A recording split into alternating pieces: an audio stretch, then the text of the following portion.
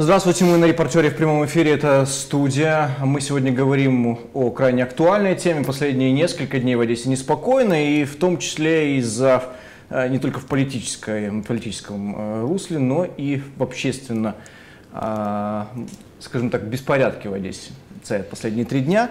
В связи с этим у нас интерактивный опрос. Могут ли активисты драться с полицейскими? Да, либо нет. Ваш вариант будет учтен и мы подведем итоги интерактивного вопроса в конце программы. И 34 92 58 звоните в прямой эфир нашей программы, задавайте вопросы нашим гостям. А гости у нас Всеволод Соколюк, это адвокат. Здравствуйте, Всеволод.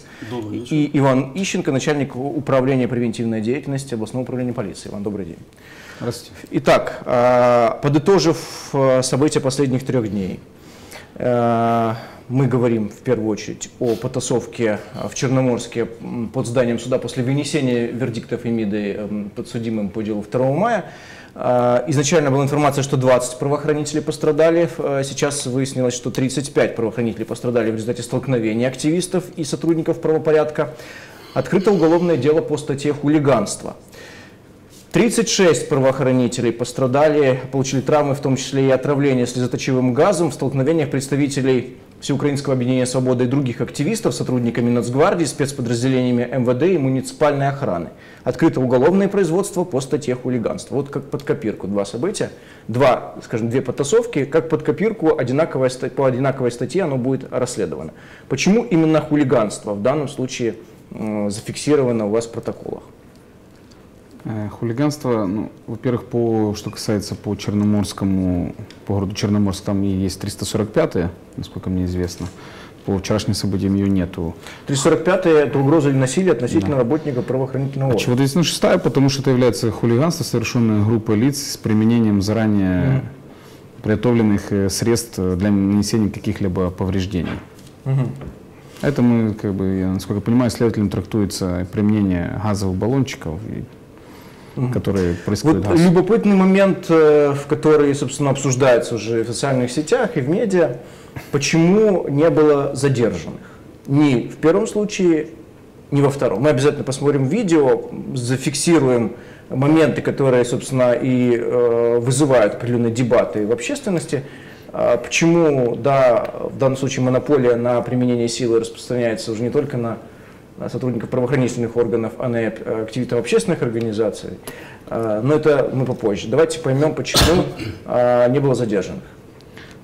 Ну, я вам скажу так, что полиция всегда исходит из той ситуации, которая конкретно складывается в определенное время в определенном месте. Угу. Во всех, в этих двух случаях, э, прежде всего, полиция и Национальная гвардия э, обеспечила публичный порядок, дабы дальше не было эскалации конфликтов и возникновения более массовых э, таких беспорядков. Я считаю, что с этими с двумя задачами, ну, с этой задачей как бы эти подразделения справились довольно-таки хорошо. Как мы знаем, вчера был локализирован весь э, э, конфликт, ситуация стала контролированной, стабильной в городе и не продолжилось более других э, беспорядков. А вообще, по большой, э, большой части этой роли особо не играет э, задерживаются люди сразу, правонарушители, либо потом. Э, Все это есть фото-видеосъемка, фиксируется, открывается уголовное производство, уже следователь дает квалификацию и правовую оценку каждому. Было либо правонарушение, либо не было. Вот э, у нас в студии адвокат э, Всеволод Цикалюк. Вот хулиганство, 345 статья, это угроза или насилие относительно работника правоохранительного органа. Имеет ли в условиях, вот нынешних условиях в нашем городе, в условиях того, что задержанных не было, есть ли какая-то, может быть, судебная э, перспектива этого вопроса? А имеет ли, то есть вообще какую-либо перспективу а, дальнейшее расследование этих инцидентов, э, учитывая вышеизложенные факторы? Ну, я вибачаю, що буду розмовляти на російській мові, а на українській, на державній, але э, если мы рассматриваем вот состав преступления такой, как вот э, вменяется, сколько я понимаю, уже э, внесено в ЕРДР именно по этой статье, Э, заявление, да, зарегистрировано.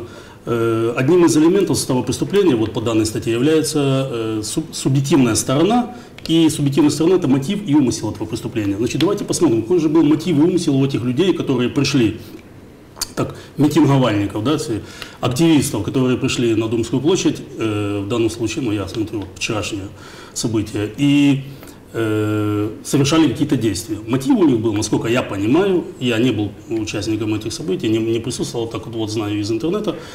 Мотив – это защита своих прав на присутствие, право на присутствие э, в сессии, на сессии, в зале на сессии городского совета. То есть вчера э, была сессия городского совета, резонансные вопросы, насколько я понимаю, там рассматривались, не буду Ну да. останавливаться на этом, но э, право членов громады быть присутствующими на сессии было нарушено. Насколько я понимаю, ну, а это право, оно э, подтверждено Конституцией, оно подтверждено законом о местном самоуправлении, регламентом местного совета, даже есть такая хартия, Европейская хартия местного самоврядування. То есть, э, я так понимаю, что в очередной раз э, использовали правоохранительные органы власти, как и до этого было, начиная с Майдана, э, в темную для того, чтобы защитить свои, ну, я так думаю, какие-то неправедные, наверное, незаконные дела, потому что основным из принципов э, самоуправления власти должна быть открытость, прозорность, да, гласность. В данном случае почему-то людей не допустили туда. Под, такими, под какими предлогами это вопрос второй. Мало того, еще хочу акцентировать внимание, что э, среди митинговальников, насколько я знаю, был там, э, народный депутат, который вообще имеет право, даже предыдущего Сосозова, который имеет право да. быть, э, проходить беспрепятственно в на любые объекты. На любые объекты. В данном случае и он не попал почему-то на сессию. Вот это было мотивом вот этих действий э, лиц. Я не, я не оправдываю, как говорится, э, незаконные действия в отношении правоохранителей, но если смотреть на мотив, то, то э, состав правонарушения, здесь вот этот вот вменяемый 296 статья, он просто разваливается. Это к тому, що мотива здесь как такового, а мотив должен бути е, по этой статті, это з мотивів явної неповаги до суспільства, що супроводжується особливою зухвалістю і так далі. Так в чому, з чиєї сторони е, неповага до суспільства, я хочу вот у у вас спросить. С чьей стороны была неповага до суспільства, когда не пустили активистов, членов громады, не пустили э, в зал сессионный? Мгм. Ну, позвольте, не буду отвечать, да, он, пожалуй, прозвучит Ну, как риторический. да, А, смотрите, а, Иван, а, вы признаете, что в какой-то мере, а, например, а, действия правоохранителей были там чрезмерными, либо чересчур радикальными с точки зрения недопуска активистов в зал Кстати, я- заседаний? Кто отдавал приказ, да, не пускать? Ведь э, ва- ваши кордоны стояли, и нацгвардейцев, и, и областной полиции. Стояли кордоны э, несколько, в несколько рядов у входов, у входов в мэрию. А, почему не пускали? Смотрите, а, во-первых, э, я вам скажу так, что ни полиция, ни Нацгвардия, она не занимается пропускным режимом, это не входит в их функциональную обязанность. Это осуществляют сотрудники мэрии, не знаю, там какой-то их аппарат или муниципальная охрана, это не важно как бы. До определенного времени, насколько мне известно, э, э, там осуществлялся запуск людей. Когда уже там было полностью практически я, э, переполнено, все, вышел там сотрудник мэрии начал громкоговоритель всем объяснять, что уже даже невозможно в холл зайти. Когда ко мне обратился бывший народный депутат, э, подошел ко мне, я его, он со мной лично зашел э, в, горсовет, э, он может это подтвердить. Просто когда он ко мне обратился, в этот момент э, возле него находился человек, который вы- э, вытаскивал один подозрительный предмет, и, соответственно, п- сотрудники полиции пытались у него его забрать, в результате чего началась потасовка. А Не потасовка, а локализация конфликта. Вы говорите о том, что мотив, не мотив. Смотрите, если когда э, вот идет разговор э, с правоохранителями, с определенными гражданами, и в это время гражданин достает, э, ну я не буду сейчас утверждать, взрывчатое вещество, ну было похоже, да, на взрывчатое вещество, у него пытаются у него его забрать. В это же время подбегают другие граждане, начинают отталкивать сотрудников э, полиции, применять в отношении них силу. Э, О каком здесь можно другом мотиве говорить? Он же не пытается зайти, там, э, его кто-то не пускает или еще что-то. Он подходит и пытается ударить полицейского, который э, хочет обезопасить и полицейских, и других граждан, которые там находятся, потому что, возможно, подозрительный предмет и либо взрывчатое вещество находится в руках данного гражданина. И еще хочу сказать больше. У нас, э, начиная с 8 часов, даже ранее, начали поступать звонки, что должны пронести туда взрывчатые вещества. Это зафиксировано на, на линии, да, на линии 102, потом мы проверяли. У нас начало поступать э, как бы, ну, когда проводился мирный митинг э, гражданами у стен мэрии, э, у нас работали оперативные службы, и от них поступала достоверная информация о том, что у некоторых лиц скорее всего, находятся взрывчатые вещества. И когда сотрудники полиции пытались проверить определенные там, рюкзаки у конкретных граждан, uh-huh. тогда уже начинали возникать конфликты. Данный гражданин э, пытался убежать, его начали отбивать. И уже возникает подозрение, чего э, гражданин, который говорит о каких-то взрывах, у которого находится какой-то рюкзак, пытает, забегает в толпу и убегает от полицейских. А когда уже начался непосредственно сам вот этот конфликт, э, была цель просто у одного из граждан проверить э, то, что он достал в руке, э, похожий на взрыв пакет. После этого набежало большое количество граждан и началась потасовка с сотрудниками полиции. Сотрудники полиции, я считаю, действовали довольно-таки, как я уже говорил ранее, толерантно. Да? Мы разнимали разнимали, во-первых, там были разные стороны граждан, да, э, были с разными как бы взглядами. Мы никогда не влазим в политику, но если человек, э, какие бы ни были мотивы, бросается на полицейского, распыляет его в сторону газ, э, мы считаем это уже правонарушением. Мы говорим сейчас о событиях на Думской площади. Давайте да. э, сейчас посмотрим видео э, с Черноморска. Э, 2 мая суд после того, как все произошло, вердикт был оглашен, вот такой, вот такая вот сцена, смотрите. Я надеюсь, вам видно. Сейчас будет видно, как вот активисты ломают некую металлическую конструкцию, так понимаю, которую мэрия Ильичевская Черноморская установила для, э, в качестве городского дизайна.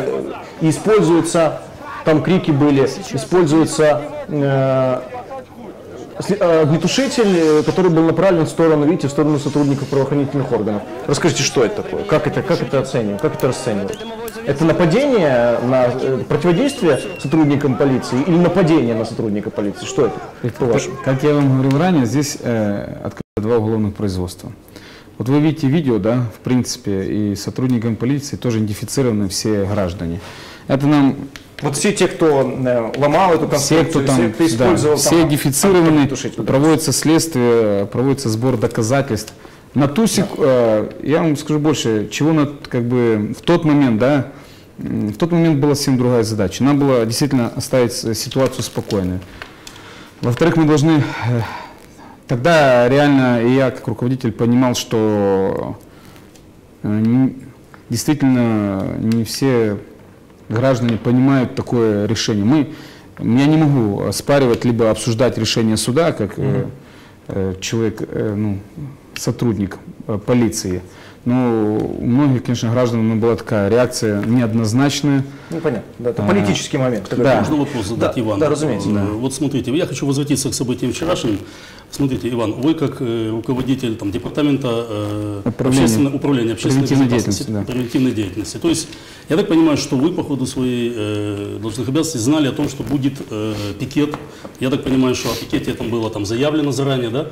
И вы предполагали, Э, наверное, могли предполагать о том, что будет достаточно большая масса народа э, перед Думской площадью. Можно было, я так понимаю, наверное, поставить, то есть как-то объявить людям через руководителей этих общественных организаций, политических партий, региональных, объявить, что такое-то количество будет допущено в зал. Значит, будут через металлоискатели пройдены люди и так дальше и тому подобное. То есть со, э, максимально э, унеможливити на українській мові да, вот эти вот все проносы каких-то незаконных предметов и так далее. И создать более организованный порядок э, осуществления э, людьми своих прав, как э, влияние на органы местного самоуправления. Вот, вот скажите мне, были, или же вас местные органы поставили в такую позицию, что, ребята, стойте, никого не допускайте, там будут, там будут бандиты, и э, никто не должен из них из этих, а хотя это все граждане Украины, извините меня, никто из них не имеет права попасть э, на сессию.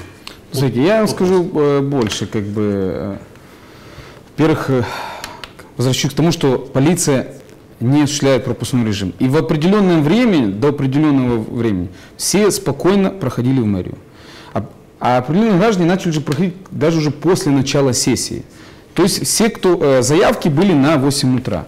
Если бы граждане пришли в это время, зашли бы в эту... Ну, мы не занимаемся пропуском, мы осуществляем охрану публичного порядка вокруг мэрии. Мы даже не находимся внутри. И мы, по сути своей, не можем быть внутри, как бы осуществлять там какую-то охрану публичного порядка. Я еще два слова хочу сказать. Вот э, вы же понимаете, это был вчерашнее событие, это был отголосок уже событий, связанных с трагедией большой в Виктории, да?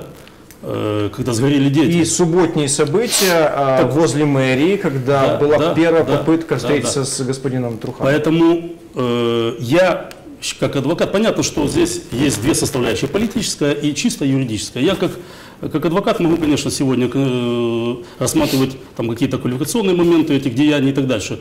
Но как гражданин и как житель Одессы я не могу просто смотреть на то, что происходит у нас. Я все-таки считаю, что здесь именно власть в лице э, мэрии, э, как говорится, спровоцировала и первое, ну я не говорю там насчет пожара и так далее, чья там вина, это э, следствие докажет, спровоцировала то, что происходило и тогда, и происходило вчера. Давайте вот э, вернемся к тому, что было вчера. Э, События на Думской площади. Видеофрагмент чуть длиннее, чем... и, разумеется, и событий было больше, и фрагмент, видеофрагмент длиннее. А, Что не умаляет достоинства активистов. Я ни в коем случае не хочу, чтобы вы заподозрили в том, что я стал на сторону сотрудников правоохранительных органов. Но в данном случае мы вчера общались с активистом в этой студии, выслушали позицию, теперь я выслушаю позицию э, сотрудника полиции. Вот э, это в темно-зеленом это бойцы Нацгвардии, правильно я понимаю? Да-да. Вот. э, в этот момент, примерно в этот, в этот период, подкрепление спецподразделения э, МВД пришло. Э, люди в, в касках и в темной форме. Вот. э, Батальон полиции особо назначен. да, батальон полиции особого назначения. Вот он. Смотрите, видите, в отношении него сейчас э, был использован газовый баллончик.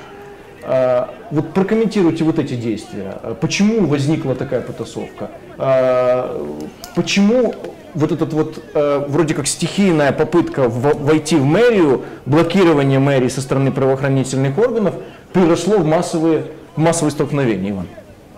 Ну, я уже возвращаюсь к этому. Но все началось Да, с того, что когда один из э, граждан, который уже установлен, пытался достать э, предмет, похожий на взрыв Именно пакет. после этого произошло, правильно? А? Это после да, этого. после этого Это его, с- его задержали в тот момент, данного гражданина, он установлен. После этого начали его как бы отбивать и начались как бы столкновения с полицией. Э, Были задержаны, да, несколько граждан для проведения, ну как, для проведения профбесед. Вот видите, вот эта ситуация, да, э, она же, э, мы сейчас можем ее, когда смотрим по телевизору, мы сможем ее рассматривать по-разному. Э, Руководство, ну, в том числе, мы принимаем решение, исходя из той ситуации, которая происходит э, в данный в конкретный момент, во что она может вылиться. В той ситуации, э, я видел ситуацию так, что э, мы вот локализовали конфликт, больше не происходит, открыто производство, и если будет, э, следователь посчитает необходимым привлечь кого-либо к ответственности административной или уголовной, это будет сделано. У нас есть достаточно фото, видеосъемки. На тот период надо было стабилизировать ситуацию и остановить, чтобы город был стабильный. То есть вы говорите, вы, вы клоните к тому, что э, если бы вы задержали активиста и, например, а, сопроводили его в автозак и отвезли в неизвестном направлении, а точнее в райотдел, допустим, да, то ситуация имела бы продолжение, негативное продолжение. То есть ситуация бы вышла из-под контроля. Правильно я понимаю? Ну, ситуация- Поэтому не задерживают. Ситуация в любом бы случае не вышла из-под контроля, потому что у нас для таких мероприятий всегда достаточно сил и средств, чтобы в го- в городе было спокойно. Но, но на тот момент э, такое было принято решение, что вот э, конфликт был погашен э, и не возникало дальнейшей да, его эскалации. Мгм, мгм. И принято решение. Открытое производство, следователь же посчитает нужным, он э, будет э, основание для вручения подозрения, значит он вручит подозрение. Не будет, значит как бы дальше будет рассматриваться какая-то административная ответственность. То же самое будут проводиться служебные расследования по действиям э, сотрудников полиции. В ситуации э, о том, чтобы моментально кого-то задержать и доставить, я думаю, что адвокат у меня подтвердит, от того, что мы сразу же доставили в отдел полиции, либо мы э, человека через 3-4 дня, когда уже будет а то все фото-видео фиксация, все будет обработано, допрошены свидетели, э, сняты телесные повреждения сотрудниками полиции, либо нацгвардии, это уже как бы ничего не меняет. Я к чему задаю эти вопросы? Потому что многие э, обвиняют нынешнюю полицию по следам вот этих событий последних трех дней в нерешительности. Что вы им ответите? Вот вы ответите, и что думаете? Можно я скажу? Да, да. Я вот смотрите, с одной- может быть даже как-то немножко и поддержать э, Ивана, но и немножко и в его, как говорится, адрес и какую-то критику. Смотрите, согласно статьи 2 Закона Украины про национальную полицию, на основании которого э, действует э, полиция, в том числе и вот уважаемый наш гость, э, ч- э, статья 2, пункт 2, е, завданням поліції є охорона прав і свобод людини в першу чергу, а потім вже також інтересів суспільства і держави. Законодатель поставил в первую очередь охрана прав и свобод человека.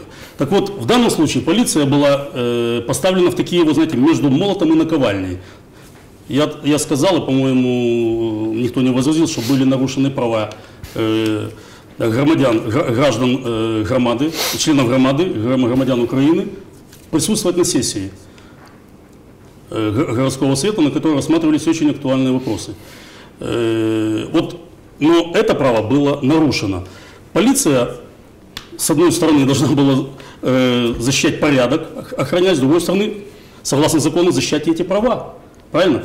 И насчет вот превентивных мер. Я вот все-таки считаю, что ну, превентивная суть, это значит что-то заранее э, прогнозировать, Предвосхитить события. предвосхитить Да, да, события. Так вот, я понимаю, что, я понимаю как адвокат, что, наверное, все-таки э, должны лица нашей полиции и областной полиции в том числе должны были, наверное, зная, какой градус у нас э, в обществе и в городе после этих всех событий, значит, каким-то способом провести не в процессе уже превентивно вытягивать там этих э, ребят, активистов из, из толпы и там а до того, за день, за два, вызвать руководителей или поговорить, пообщаться, сказать, вот мы, у нас есть такая информация, у вас же есть информация о том, что, как вы сказали, что даже у вас была информация о том, что там должны были про- пронести какие-то там э, взрывопакеты и так далее, но почему-то вы ждали, пока их А пронесут. были, были консультации, кстати, вот такие? Вы знали, очевидно, что будут, ну, как минимум, много Я людей закончу, будет. я закончу мысль. Да. И, и у меня тогда закрадывается какое-то подозрение, что это все было сделано специально, может быть, ну, или вслепую использовали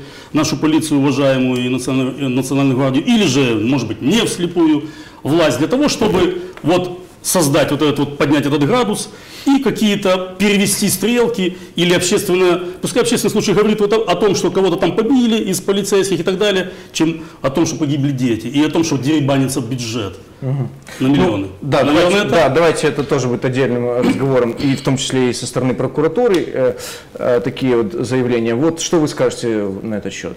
Э, Полиция могла предвосхитить эти события? Ну, Полиция по поводу- общалась с господином Кириленко, который, собственно, и э, был э, на передовой да, вот этих вот событий, который все-таки первым изъявил желание попасть на сессию, пользуясь своим правом деп- народного депутата прошлого созыва участвовать в этом. Мы, я скажу, что мы, я лично регулярно, да и все мы регулярно общаемся, конечно, да. И с Павлом Неминовичем общаемся, и с представителями там, «Свободы», «Сокола», других организаций. Я, либо мое руководство, либо там наш аппарат. Э, Мы всегда с ними, конечно, общаемся, говорим о том, чтобы не нарушать порядок. Э, Где-то мы сходимся во мнении, где-то не сходимся. Но консультации у нас происходят регулярно. Э, Предвидеть эту ситуацию, ну, ну, мы до конца не можем потому что у каждого свои цели. У нас, к примеру, цель одна – обеспечить там публичный порядок, сохранить спокойствие в городе, чтобы не было расшатывания ситуации. У кого-то, может, какие-то другие, я не знаю, какие цели. Кто-то там, э, у кого-то какие-то политические. Э, Всегда же исходит из того, что вот, э, вот там тот плохой, или там суд не то решение принял, или еще что-то. И это поступает как бы детонатором для проведения каких-то проте- э, нарушений порядка, ну, нарушений закона, и якобы должно ну, кого-то оправдывать. Мы, мы же не исходим, какой у кого был мотив, да? Мы исходим, что вот есть ситуация, да? Человек при большом скоплении людей достает какое-то неизвестное, схожее на взрывчатое вещество предмет. И оно может быть использовано и непонятно какие ситуации. Да? Помню, даже когда под Верховной Радой было более 100 нацгвардейцев раненых и, и три, трое погибших, насколько мне известно. И что, и тоже, может кого-то в Раду не пускали, еще кого-то. Мы никогда не останавливаемся на каком-либо мотиве, либо цели, которую э, граждане э, хотят э, осуществить. Мы исходим из того, что вот есть ситуация, есть порядок, и мы, есть закон, который должны все соблюдать. Все. Ну вот тут очевиден баланс, дисбаланс, прошу прощения. А, На Думской площади трое официально пострадавших активистов и 36 сотрудников правоохранительных органов. Это сотрудники, которые обратились за медицинской помощью. Да? Там нет травмированных. А в основном это они, травмы? это, Это- это было э, сотрудники полиции и военнослужащие Нацгвардии, которые получили э, они обратились за медицинской помощью для того, чтобы им промыли глаза от э, ну, отравления как бы газом. В Потому что основном. А вот использовался физичес- физические какие-то ранения? э, Физических, Нет. не, мы же сразу еще вчера заявили, что физических травм каких-либо нету. Есть только э, сотрудники полиции назвали, которые обратились из-за того, что в них обш- э, распыляли слезоточивый газ. Газ реально был очень такой. Как с одной, так и с другой Да. стороны. да. Я, я крайне удивлен э, вот э, этой э, статистикой о том, что э, сотрудники полиции и Нацгвардии, они были защищены спецсредствами, да, со щитами, там, со шлемами и так далее, и так много, и так много пострадавших. Я вам скажу, что Ну, газ, от газа может защитить А- только специальный э, Респиратор, да, респиратор, да. Очень неприятно. активисты Сейчас были- настолько есть иностранный газ, это даже не нашего производства, но мы сейчас над этим занимаемся. Практически 10-20 метров, и он э, абсолютно, практически мгновенно парализует э, человека. Он правда, потом быстро отходишь, но первые 5 минут э, я на расстоянии 20 метров немножко его, можно сказать, как бы вдохнул и не мог не- несколько минут просто прийти в себя. Потому, хотя я был в очках, но это меня не спасло. Я так понимаю, что активисты просто не фиксировали свои там повреждения и так далее, поэтому Ну, возможно. не было. Мы же не говорим о Давайте, да, прежде чем- людях, обратившихся- Прежде чем мы подведем итоги интерактивного вопроса, вот э, хочу узнать у каждого из вас ва- ваше мнение. Должно ли государство, государство, то есть органы правопорядка, сохранять монополию на применение силы? Потому что вот эта дискуссия, я так понимаю, которая очень остро стоит на повестке дня. И пока она, дискуссия эта, не обсуждается в кулуарах парламента, кабинета министров, администрации президента, вот будут происходить вот такие вот ситуации, как происходили 2 мая и накануне на Думской площади. Не Как 2 мая, а по, собы- по приговору 2 мая, да. и 2 мая в том числе, кстати. А, И э, по, я имею в виду в Черноморске, после Да, вердикта приговор. суда по делу 2 мая. да. Как вы считаете, должно ли государство сохранять монополию на применение сил? То есть Ну, вы, я, полицейский. кон- Конечно, абсолютно с этим согласен. Я, И я, вы не согласны с тем, что происходило вчера э, со стороны активистов? я не согласен с тем, что когда э, используют нарушение порядка и оправдывают это чем-либо, как бы, знаете, потому что мы, э, у нас всегда говорят, чего вы не заняли какую-то позицию, да, или какой-то общественный деятель хороший, какой-то плохой. Но мы же не, мы же не должны этого делать. Мы не различаем, э, мы не, не говорим, кто хороший, мы не осуждаем. Действительно, у очень многих э, очень правильные цели, да, правильные мотивы. Но мы считаем, что должна, э, если есть такое понятие, Конституция закреплено мирное собрание. Мирное собрание, Мирное правильно? собрание. Мирный Конечно, митинг. конечно. Каждый пусть изъявляет свою волю, да. Если есть какие-то нарушения, пусть обращается. Все говорят, о, что мы будем обращаться там, в суд, да, или в полицию, это все равно там заглохнет. Ну так не- нельзя об этом говорить. И прежде всего, конечно, всегда обсуждают действия полиции, ну, правоохранительных органов, потому что они находятся на острие, и в первую очередь они с людьми. Да? Первые э, представители власти – это всегда полиция, и всегда в полицию э, летит больше всего камней, потому что полиция я, э, чуть ли не заинтересованы там, кого-то пресечь, избить или еще что-то. Нет, полиция просто старается в этом как говорится, и сохранить монополию власти, и в то же время, чтобы учесть э, не то, что интересы каждого, но чтобы и не нарушить права граждан, и сохранить спокойствие в городе. И, и полиция делает очень много для этого. Это не так просто, как кажется со стороны, что полиция ничего не делает для того, чтобы здесь был порядок. И ваше мнение этому? Ну, од- однозначно э, государство должно иметь аппарат насилия, на то оно и государство. Но э, монополия, тут можно еще э, нам подискутировать по поводу там, разрешения открытого ношения огнестрельного оружия, как в, раз- в развитых странах и так дальше, когда человек при невозможности государства защитить его права, он сам защищается. Но э, я всегда против того, когда э, правоохранительные органы используют как разменную монету, как буфер, как, я не знаю, как э, играет и- ими в темную для решения своих политических задач. Органы власти, в том, в том числе и органы местного самоуправления, как, как в данном случае произошло. У нас уже полчаса эфира прошло, к сожалению, мы перетянули со временем. Я лишь оглашу данные интерактивного вопроса. Звучал он, напомню, так. Могут ли активисты драться с полицейскими? А, э, И ответы расположились следующим образом.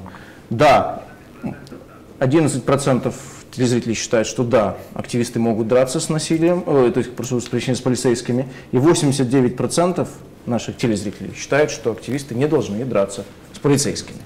Вот такая Это вот правильно? Ну, э, Я согласен, может быть, некорректно был поставлен вопрос, а имеют ли право активисты защищать свои права и при этом вынуждены применять насилие. Вот, может быть, так было бы правильно поставить, наверное, немножко другой был бы. Все-таки драться не Ну, просто, а смысл один и защищать- тот же защищая свои Смотри. права. Наверное, так. Спасибо, уважаемые Ну, гости, каких бы ни было целей, нарушать закон никому нельзя. правильно? Спасибо за то, что пришли, обсудили актуальную тему. Мы следим за развитием событий в Одессе. Оставайтесь с репортером. Счастливо.